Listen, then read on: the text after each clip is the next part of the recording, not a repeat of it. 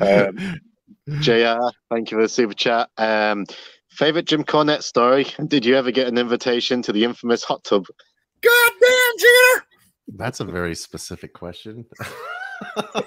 uh, I'll answer the second part. No, never got an invitation to the hot tub. I didn't even know that was a thing. Disappointed you that you didn't get an invite. Did never got an invite to the hot tub. No, uh, man, a specific Cornette story.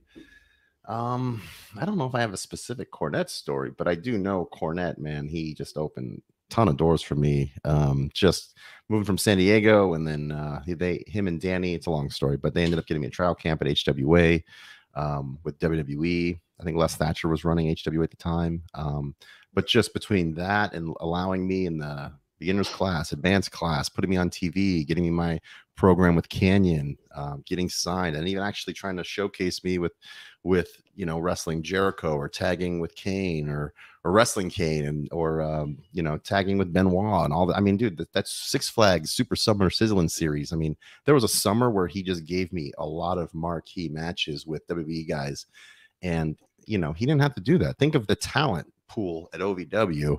So I was very fortunate, grateful um, that he gave me that opportunity. So I have nothing bad to say about uh, Jimmy. Uh, he he really helped me in my career. I wouldn't have made it as far as I did um, without him.